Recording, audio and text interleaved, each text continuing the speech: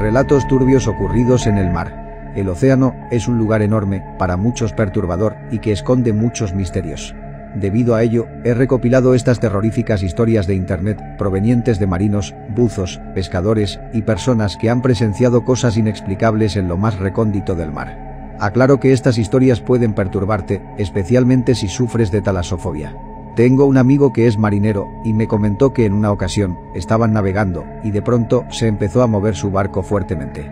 No había tormenta, el barco se sacudía con fuerza, sonaron las alarmas y todos asustados observaron cómo un pulpo gigante estaba debajo del barco, moviendo sus enormes tentáculos. El pulpo asomó la cabeza frente al barco y los observó por un momento, para luego perderse en el fondo del océano. Por estas cosas es que a los marineros les tienen prohibido decir lo que ocurre en el mar. Yo soy buzo de rescate. Una vez me hablaron para ir a sacar a una persona que se metió a nadar y ya no salió del agua. Al inicio era un rescate más en el cual se tenía que hacer la inmersión, rastrear y listo, pero cuando mi grupo y yo nos metimos al mar, rápido empezamos a tener sensaciones o presencias extrañas, y no de animales o plantas. Sentí que me tomaron de la pierna como tres veces, cambié la dirección hacia la ruta donde me tomaron la pierna, y ahí fue donde encontramos a la víctima por ahogamiento. En pocas palabras, nosotros no lo encontramos, algo nos dio hasta su cuerpo. Yo fui pescador durante más de 22 años y me tocó ver de todo, desde cuerpos flotando en la orilla del mar hasta tiburones, pirañas, etc.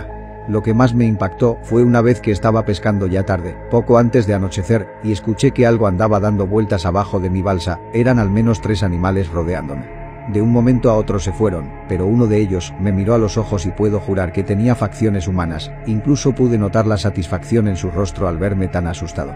Nunca más volví a pescar cerca de ese lugar. Una vez, mis primos y yo alquilamos un barco pequeño y fuimos a alta mar a darnos un chapuzón. Yo empecé a nadar sin preocupación, hasta que me di cuenta de que estaba muy lejos de mis primos y decidí volver tranquilamente, pero cuando intenté nadar sentí algo enorme debajo de mis pies, como una criatura monstruosa, y me quedé paralizado tres o cuatro minutos.